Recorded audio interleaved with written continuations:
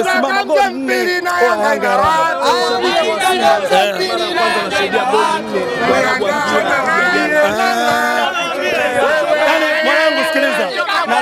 kila mpenda mafanikio. Amefurahi, haijalishi timu unaoshabikia. Unajua Yanga wamejituma na kidogo kwa sababu mambo ya nywele zangu zilikuwa haziwezi kushika, lakini nimekaa Mwenye siku yake Pakome Zuzwa.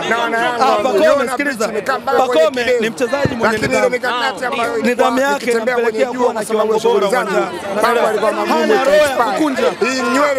Mpe chafu anakupa safi, mpe ni pasi mbaya anakupa nzuri. Pakome sio mtu mwenye roho ya korosho, na ndio maana Walichofanikiwa Yanga, walichofanikiwa Yanga ni kuleta umoja kwenye timu yao. pamoja na mshikamano umepelekea hichi tulichokiona leo.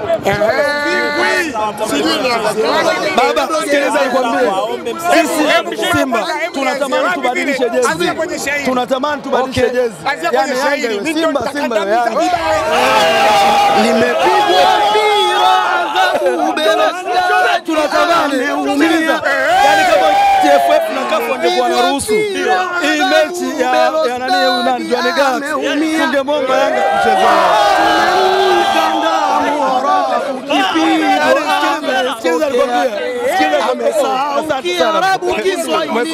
sikiliza kwambie, kama ingekuwa ruksa, hatutaki kufuzu kwa presha, hatutaki kufuzu kwa wasiwasi. Kama kafu na TFF ingeruhusu, tungepigwa Yanga kuchezea mechi yetu, wanakuwa ni timu moja kubwa, wametuacha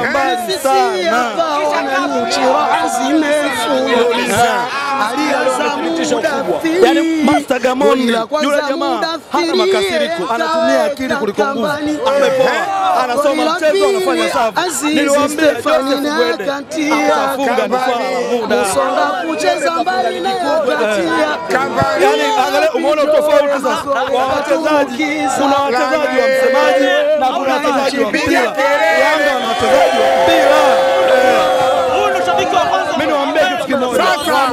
Kimoja mashabiki, tusijilinganishe na Yanga. Yanga imetuacha mbali sana.